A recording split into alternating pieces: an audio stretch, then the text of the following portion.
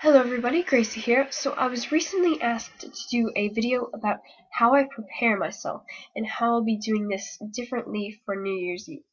Now, before we begin, there's two things I must tell you.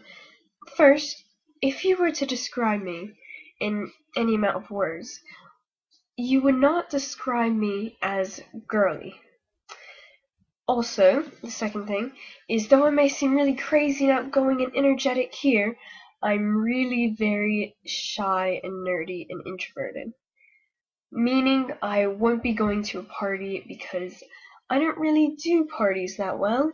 And getting ready may be more humorous than informative to most of you. But I will still do it because I was asked to. So here you go, getting ready with Gracie. Now, to start us off, I'm going to go take a shower real quick.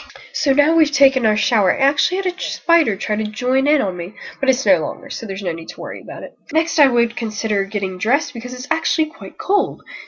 Personally, for me, since I'm not doing anything special and basically I own t-shirts and about nine pairs of jeans, I decided to go with just that. Today I chose DFTBA's quality t-shirt and a pair of black jeans. Okay, so now we have to do our hair because it's wet and it's annoying. So personally, I've dried mine a bit with a towel, and I have a brush here and a hairband, and I'm going to put it up. So just bear with me for a bit. We'll probably eventually be putting a hat over it anyway, but we want to wait a bit so that our hat doesn't get funny smelling.